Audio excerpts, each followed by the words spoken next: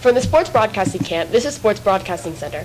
I am Julia Sorgi, along with my partners Henry Dodd and Parker O'Brien. The American League won their third straight Midsummer Classic with a 6-3 victory over the National League in the 86th All-Star Game at Great American Ballpark.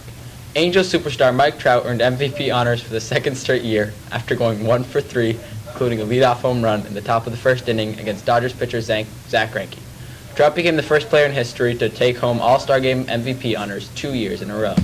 The Boston Red Sox continue their post-All-Star break road trip for the three-game series against the Houston Astros, starting Tuesday night at Minute Maid Park. The Sox currently in last place in the American League Eastern Division, trailing the first-place Yankees by six games. Meanwhile, the surprising Astros are battling the Angels for the top spot in the American League Western Division.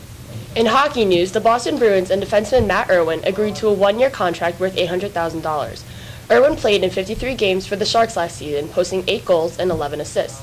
He played two years at UMass, netting 14 goals, while adding 28 assists in 67 games. Now on to basketball. The Boston Celtics waived point guard Phil Pressey last week, hours before his contract was set to become fully guaranteed for next season. Pressey averaged four points and three assists over 12 minutes per game while playing in 50 games last season. And finally, the Patriots signed Pro Bowl kicker Stephen Gostkowski to a four-year worth 17 million. The 31-year-old was 35 for 37 on field goal attempts in 2014, as well as becoming New England's all-time leading scorer. That'll wrap it up for here at Sports Broadcasting Camp. I'm Julia Sordi with my partners Henry Dodd and Parker O'Brien. Good night.